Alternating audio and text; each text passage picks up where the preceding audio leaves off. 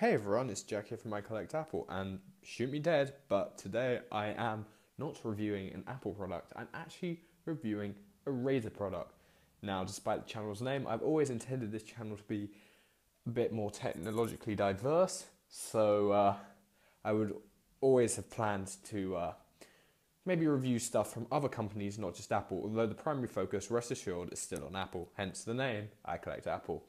Now, today, yes, as I said, I'm reviewing a Razer product. Now, it's the Nabu X Smart Band. Yes, as you're probably aware, a few weeks ago I got an Apple Watch, so you might be thinking, hmm, why has he got a smart band? Well, these cost £50 each, and uh, Razer were doing buy one, get one free, so I bought two and split the cost with my friend. So I thought, why not? I wanted the original Nabu when it was sort of announced last summer before we saw the Apple Watch, or the iWatch as it was known then and it's come a long way since then with the Nabu X being the sort of second generation. Although the big difference here is, well, besides a complete physical redesign, it has no screen, which I quite like because my watch will do all that for me. So I'll tell you a bit more about it as we go in, but first off, I'm going to unbox it. So let's take a look around. Uh, on the front, in a nice glossy, shiny writing, we have Nabu X Smart Band. We have a Razer logo up here. The packaging is a bit cheap for what I would expect from a Razer product because Razer are like the Apple of gaming. They make nice things, but let's be honest, they're a bit overpriced. But as a result, you tend to get nice, stupid little things like the packaging. Uh, but it's a bit cheaper, but for only £50, I'm not too surprised. It works via Bluetooth.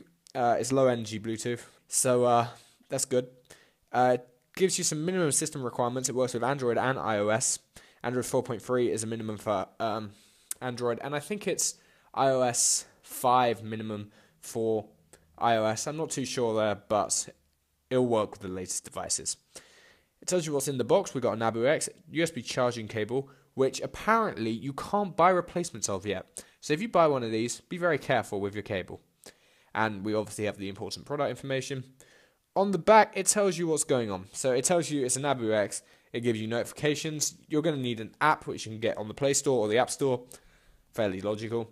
And it tells you a bit about it. So we got discrete notifications with different LEDs for what's going on. You sort of got to learn which LED means what. So you can customize them. You can have LEDs for alarms, notifications, uh, calls, text. You can set them up in the app. It also has a lot of activity going on here. So, for example, when you can't wear your Apple Watch or you don't feel comfortable wearing it, for example, playing a sport, this should take a bit more damage than the watch, or seeing as the watch is like £500 as a £50, you'll probably be a bit more willing to have this damaged and take the risk. So it will track your fitness when you don't have your watch. And above all, something that the Apple Watch doesn't do because the Apple Watch needs charging on a nightly basis, this has a five to seven day battery life. So this can be used for sleep tracking. And it also has a lot of social features like band-to-band connectivity. So when you uh, enter a room with someone else that's wearing one of these, it will give you a little vibration to tell you someone's nearby. When you do a high five, which used to be a handshake on the original generation, and you have the app open on both your phone and the other person's phone, it will transfer your social media so uh, names, so Steam name, Twitter name, uh, Facebook account, all that sort of things. And down here we have all the tech specs. So we got a battery life, five to seven days, with 30 days of standby. It tells you about the strap. It is water resistant. I will be wearing this in the shower. I doubt I'll take it swimming, but up to one meter for 30 minutes. So it's fairly decent. But yeah, as I say, in the shower, no problem. But I wouldn't want to really take it swimming. Uh, the sensor module actually detaches, so we'll get to that in a bit. It tells you about the three LEDs and all the sensors. So you can read that now if you want, but I will go through that when we get it out of the box. So to get into the box, I've just cut along the back here. There was a single piece of tape that I just cut along with my knife here. So uh, now all we do to get into it is we lift this tab up and then pull a tab down at the bottom and sort of take it by our hands and slide it out. We'll lift this tab up to stop it scuffing the band.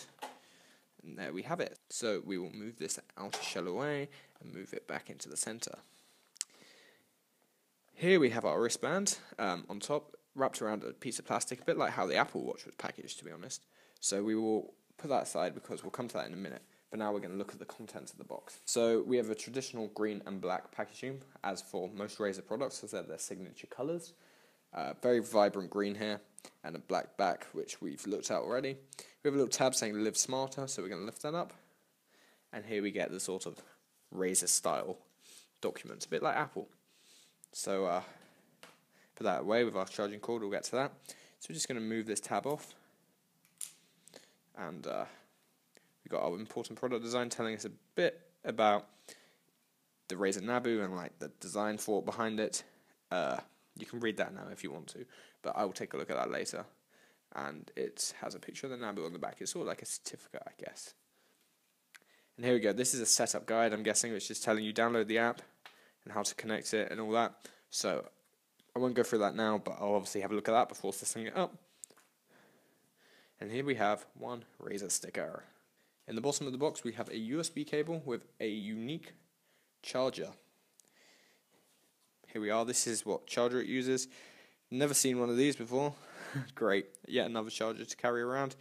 As you can see, it obviously doesn't come with a wall plug um, which is fine because it's more of a smart band. You don't really need a plug. It'll work with any uh, plug. So like my Nexus 7, I can use that plug or an Apple plug, or I could just plug this into my computer or my laptop to charge it.